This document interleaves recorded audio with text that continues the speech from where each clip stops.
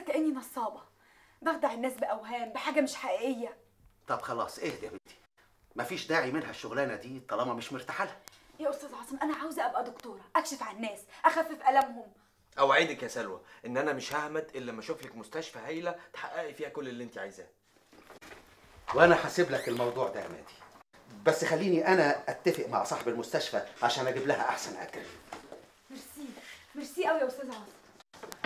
طب يا بابا على إذنك عشان هوصل سلوى وبعد كده عندي ميعاد مهم قوي في الهرم.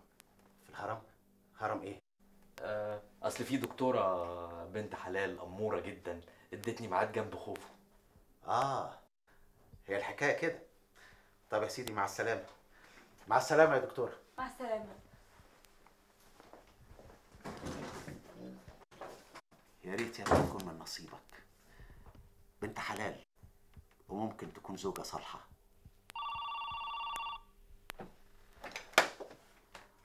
ألو؟ أيوه يا ألفت. بقولك إيه؟ شوكت كان عندي هنا وأنا بحذرك إنك تعملي أي حاجة من اللي قالك عليها. أبويا مش مسخرة يا ست هانم بينك وبين ابن خالك. ولو حصل الكلام ده بطل بقى يا عاصم واسمعني كويس. أبوك بيخرف فعلا. ده طلب مني شخصيا. أتوسط له عند الدكتورة سلوى عشان يتجوزها.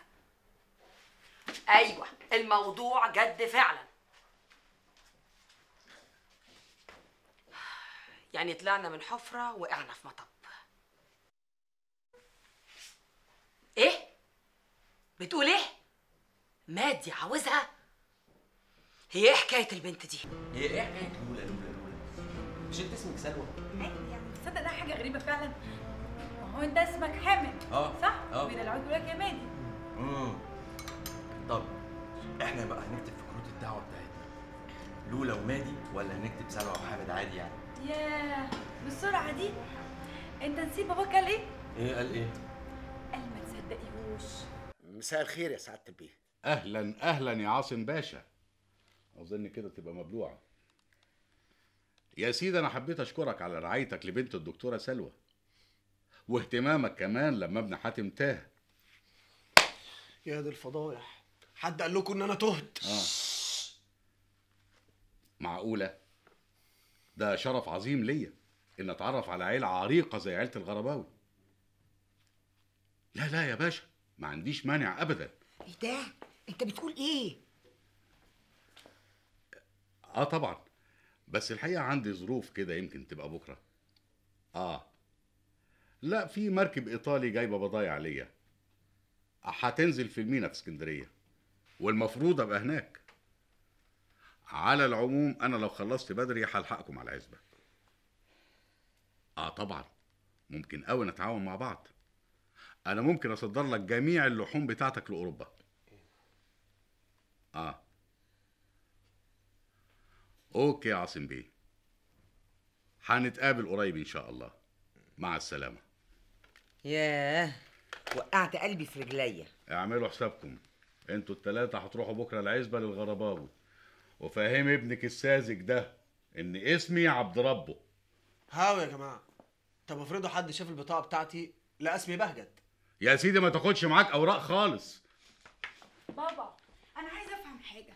أنت إزاي بتجيب القدرة إنك تكتب بالسوق؟ سوري بابي فهمت بقى يا عثمان. أنا قصدي إيه؟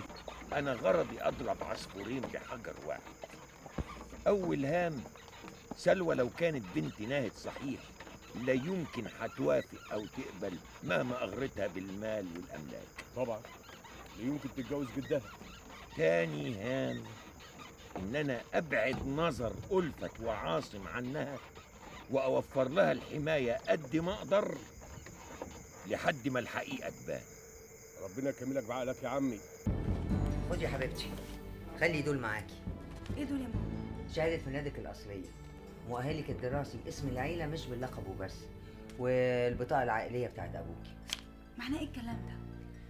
معلش يا حبيبتي معلش. بعدين هتعرفي. يلا يلا اعملي لي كمان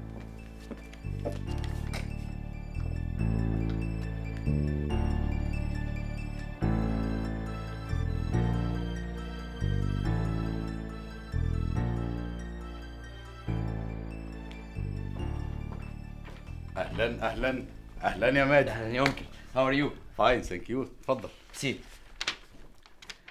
شوف يا مادي أنا عايزك تدي لبابا صورة الفاكس ده. ده من شركة توزيع أغذية في فرنسا. wow. ده عرض أسعار. عرض أسعار خاص بشركات لحوم الغرباوي. وفي كل الأسعار. اديه لبابا لو وافق على الأسعار ديت يبعت لهم فاكس بانه موافق. وأنا هعرف بعد كده منهم الكميات المطلوبة. آه. عملت اللي اتفقنا عليه. خبر هايل يا آه. بابا. سلوى هتيجي النهارده هي ومامتها وباباها واخوها. ويمين الله بتتكلمي جد؟ أمال؟ هو أنا هديلي بال غير لما خليت عاصم يروح يعزمهم بنفسه؟ يعني جايين النهارده؟ لو مش مصدقني كلها ساعة ولا اتنين ولا تلاتة وتلاقيهم قصاد عينك. ها؟ ليا الحلاوة بقى ولا لأ؟ يهو مصنع الحلويات بحاله. بقول لك إيه يا أمال؟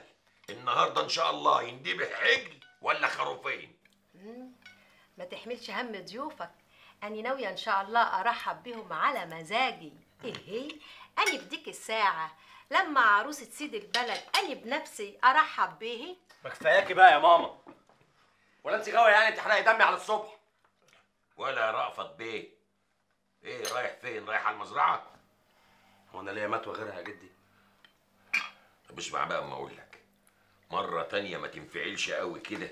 كل ما نجيب سيرة سلوى وإلا مش هيحصل لك طيب. آه يا رأفت. أصل سلوى هتبقى ست البيت الجديدة. اطمني يا طنط. اطمني يا جدي. أما تيجي إن شاء الله هبقى أقول لها يا ستي. ما هو اللي تتجوز جدي أقول لها يا ستي. على طول. طيب بس ما تقاطعش. جايز ما يوافقوش. ده مين ده؟ ده لما يجوا يشوفوا العز والفخفخة دي كلها مش ممكن ابدا يرفضوا.